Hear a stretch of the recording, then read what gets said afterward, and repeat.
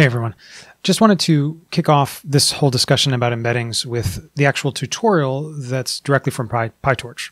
So I've been focusing a lot on PyTorch recently for some work, um, but it's also something that I think is right at the right speed, sort of, for us to uh, to introduce and to talk about. So I, I think these are uh, tools that are directly applicable for many of us in our sort of everyday work environment. So I don't think we have to wait a terribly long time to imagine this is being useful. Now, our example that we're going to be talking about again is the the sort of canned embedding example from PyTorch, and we'll get started with that to get a sense of how the code is running, and then we'll keep making iter- iterative changes. The goal really is for you to take some time and work on some of the assignments in between. So it, each of the separate videos will have one additional engineering component added. And the goal would be for you to try to do this on your own before you watch the video. Of course, I know that not all of you will do that, um, but if you really are interested in learning, this is going to be quite crucial. So I'm not going to spend too much time on the actual tutorial. You can you can check it out online. Um, this is the the spring, early summer of 2022, so things may have changed, but I'll at least preserve the code as it is, so you can refer back to it if it's something that you're interested in. And what I want to talk talk about is um, sort of the way the uh, code is framed and the baseline implementation of how to run with PyTorch. So it's both an example of the uh, the exact problem that they have. And of course, they're choosing uh, an NLP problem because most of embeddings have been focused on NLP applications. But in my case, I'm actually much more interested in this in, in other cases. So not for NLP. Uh, that's not the main focus of, of my work. So some baselines that we'll get started. Um, we're going to just do a, a baseline import. Um, nothing that's too exciting here. We won't go through every detail, but effectively, you're typically bringing in both you know the full torch library, so you can get access to everything internally, um, and then setting up the neural networks versus functional versus the optimization functions. Again, you don't need to have all of these. You could preserve um, with just the torch and just fill these in with the dot whatever you need. Um, but this is pretty standard. Now, we're going to be talking about an example that is NLP based, and they're going to be using Shakespeare Sonnet, Sonnet number two. When they're talking about context size, what we should think about here is the problem, the actual business problem that we're trying to apply, is can you, by knowing the first two words, predict the third word? So, in a sequence, in a rolling window that starts at the beginning of uh, the sonnet, if we know the first words, that is when 40, can we predict that the next word that should occur is winters? When we know the words 40 winters, can we predict that the next word should be shall? When we know winters shall, can we predict that the next word should be besieged? And a couple of things we should note. First of all, we can see it's a very small amount of data, right? Our test sentence is just a few lines long. So we know that our algorithm is not going to work particularly well. That's not what we're worried about. We're not worried about its ability to generalize right now. We're just using this as an example of how to work through the sort of mechanics of how um, everything works here. The second point is that we're making an assumption that actually is pretty true in terms of language, which is that context matters. Words that precede, there is a different definition that follows. So while our example is too small to capture the relationship between two words and the following word, we know that if we were to look over uh, long stretches of the language, English language in this case, we'd see that some words, um, some pairs of words actually do lead into the next word. The second um, variable that we've set really is this embedding dimension.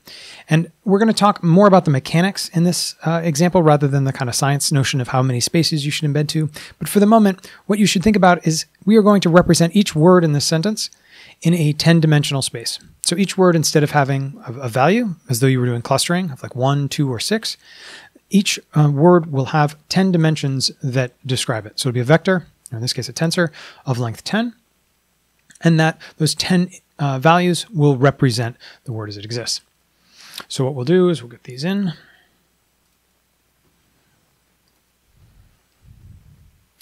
And then we'll import our test sentence.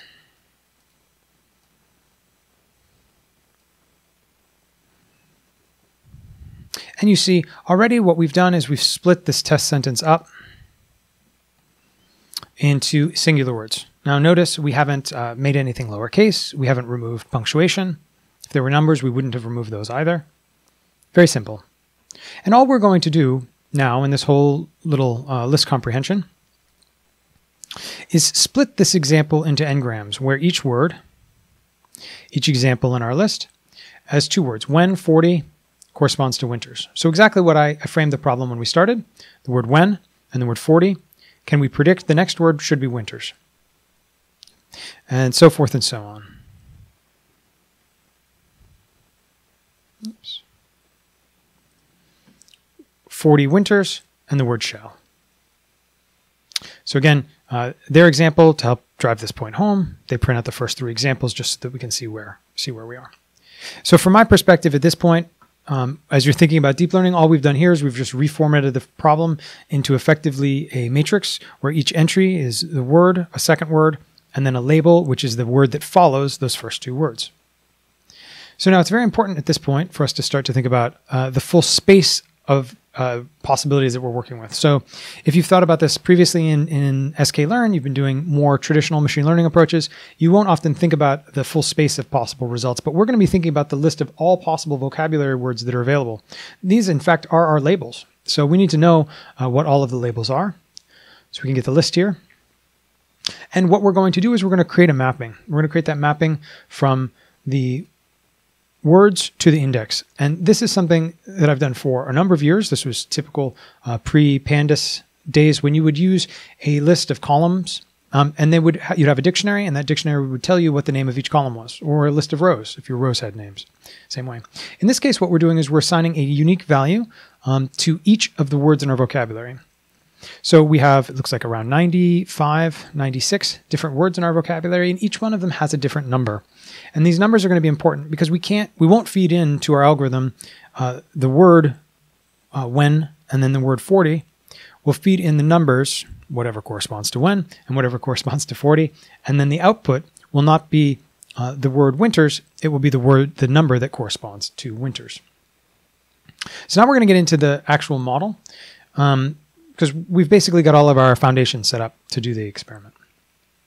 So what we're going to do here, whenever the classic way that we work with uh, uh, PyTorch is to think about importing this uh, neural uh, net module and then building an instance of that. And really what we're going to do often is overwrite just the core functionality of the initialization and the core functionality of the forward pass. These are really, this is sort of the standard. And in order to get things uh, to work the way that you want, you need to start by establishing uh, in the initialization sort of the known quantities. These are the things uh, that we've tacked down at the front the vocabulary size, the embedding dimensions, and the context size. Now, what does this tell us? The vocabulary size tells us the set of labels. The embedding size tells us the number of columns. Each word will uh, correspond to a number, a size of an embedding. And the context size will tell us how many words go into that embedding. And so when we look down here, we'll see that the embeddings, we have a, a neural net embedding layer, and then uh, embedding layer will take in the vocabulary size.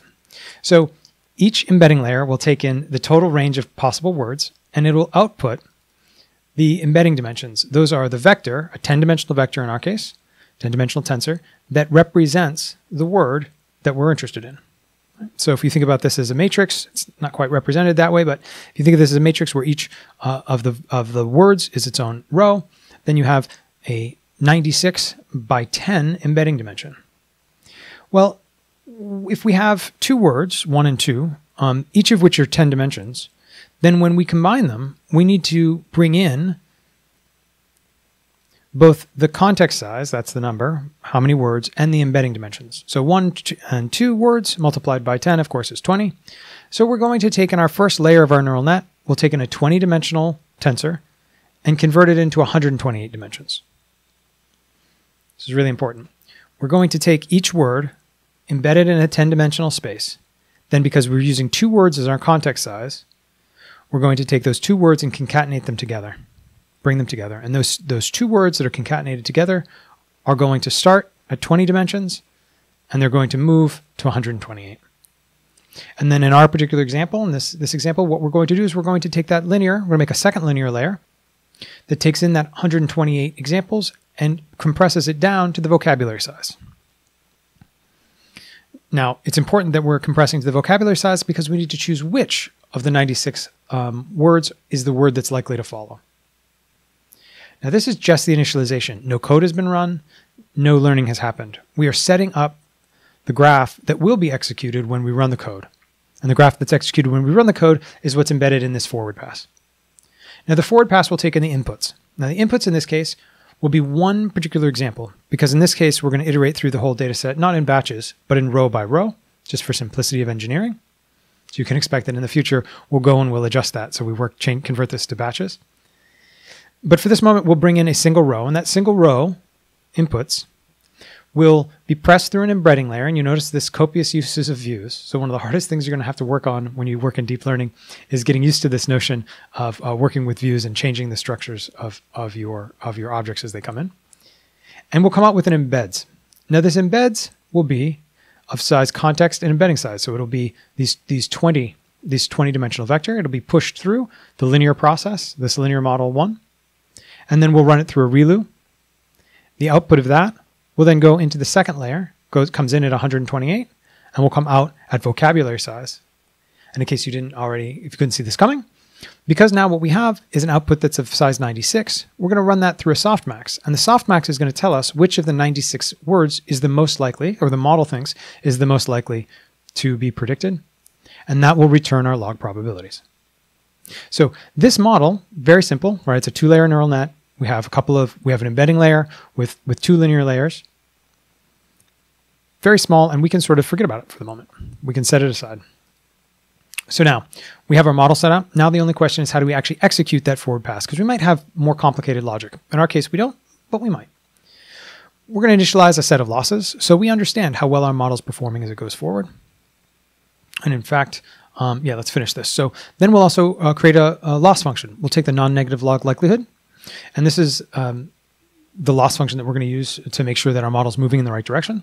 And then we'll create an instance of our n-gram modeler where we pass it, again, the, the variables that we needed, right? We needed the vocab size, so we've got the length of the vocab, that's 96. The dimensions, the embedding dimensions, which we've defined as 10 up above, and the context size, which again is 2, which we've defined above. That's all we have to pass the model. Again, at this stage, the model hasn't been run, no data has been exchanged. We've just initialized the model. We've executed this initialization step, but nothing from the forward pass. And next what we'll do is we're going to set up an optimizer. Again, in this case, they're using stochastic gradient descent. They're passing in the model's parameters into the optimizer uh, with a certain learning rate. So let's just take a moment here and bring this together. Okay. So now we're almost near the end. Pretty impressive, actually, that uh, for as complicated as example we are, we're only at 80 lines of code, and that's with uh, the copious, copious comments that they make. So now what we're going to do is we're going to do 10 epochs. And the 10 epochs are going to start, each epochs will start with a total loss of zero, because we'd like to chart our loss as it goes over time. And we will take for each of the n-grams. Now remember, our n-grams were our word pairs, so when and 40 leads to winters but we can't put in when and 40. So what we're going to do is we're going to, for each of these context and target, for each of the contexts, that would be when and 40, we're going to convert those words to um, their numbers, numerical representation right here. Okay. So we start with when and 40 and then winters. We come down here and we're going to create a tensor. And the tensor is going to take all the words when and 40 and convert them into their index, whatever those numbers are, the two number representation. It's going to pass that in as a list. That list is going to be converted to a, a tensor, a, Py, a PyTorch tensor. We'll have to deal with a lot of stuff like this later. And that will end up with our context indices. We will now zero out the gradient. Now, I'd like to point out that one of the important things here is that we are going to, at each step, zero out the gradient. So there's a bunch of stuff here that you just do time after time, regardless of the context. Um, these aren't these are functions that aren't going to change. This step of converting your raw data into a tensor, you're going to do every time this step of zeroing your gradient, you're going to do every time. And then what we'll do is we'll pass the value through our model and we'll run this model for the context IDs. So note, uh, this will return us a set of log probabilities. Notice we have not, we have not done anything related to the labels yet. But now we get a list of 96 values that comes out of this model, and those 96 values correspond to how much our model thinks each of the following words of the 96 should be the one that's the most important. Now we'd like to see how good a job it did at, at, sort of making those assessments. So now we have our loss function, of course, which we've defined up here as the non-negative log likelihood. And now for the first time, we'll take those log probabilities and we're going to pass in these word to index. These are the values that we've just generated from our labels. So now we have a label, it's the next word, winters in this case. We'll convert winters into a number, numeric representation. We'll then calculate the loss function, we'll get the loss. How far away were we from the right answer in terms of our list from the actual answer of what we want? Each of these steps, one, two, three, four, you're going to do every single time. Every model that you run is going to basically run these. And then the next two you're going to do as well. You're going to then take the loss and back propagate the mistake across the whole data set. So you're going to back propagate the loss across the model. and you're going to run an optimizer step. Now, what's a bit confusing for us is that these effects, it's almost like side effects, they're effects that happen inside the code that aren't directly called. You wouldn't know unless I told you that this step, this loss dot backwards, was going to update the model, but it does. You wouldn't know that this optimizer dot step would have an effect on the whole process, but it does. And that's because uh, PyTorch has worked really hard to abstract away a lot of the complexities and make things a little bit easier. And it's always a debate, right? You have to wrap your head around this, and you, it takes time to to to understand how things are going to work.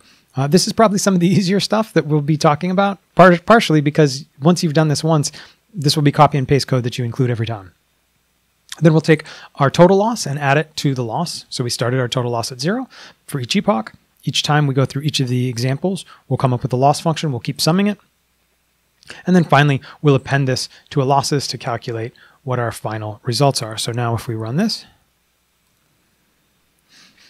we can look and see what our losses are. And we see our losses are going down. And this is the important point. Your model may be overfitting. Your model, in fact, we know our model will be. But the real question is, is your model learning? So if we'd set this up and we hadn't seen that the losses, uh, 525, 523, 520, are monotonically decreasing, that is, for every step, we're moving in the right direction, you might wonder if we were actually learning something. If you saw at the beginning that your first loss and your last loss were very much the same, you might wonder a couple of things. One, is your data, does your data have a problem? Or two, do you actually need to go back and double check your code because you've introduced a mistake? Both are possible. And then finally, what we'll do, and this is nice, um, embeddings, one of the great values of embeddings is the ability to visualize the representation for each of these words. Now, in our example, these words don't have a lot of intuition, um, but uh, in other examples, they very much might. And so here, what you can see is that we have the 10 dimensional tensor that describes the word beauty. Again, this is something we can uh, touch on later. The purpose of this right now is to uh, walk through this example and make a decision, uh, sort of understand uh, how the code is actually executing. Now, the assignment, the next question for us is we'd like to move. Right now, we've, we've got a multi-class classification problem, right? We, we have a situation where we've got a list of 96 values, and we'd like to um, only choose, we'd like to choose the value that we think is the most likely to, to follow the first two. So um, the next video, what we're going to be thinking about is how we convert this example that we just went through to an example where it's a binary classification problem. That is, suppose you have two words and you'd like to know whether or not those words represent something. We'll be thinking about uh, about insults. So when certain um, you know certain words, certain word pairs are insulting and others are complimentary, and we'd like to have, given that you know a collection of words, um, perhaps uh, you know, uh, good job. Good job is a compliment. Um, so if we'd like to classify the words good and job as a compliment, we'd use a context size of two, we'd use an embedding space of two, and we'd have a label of one.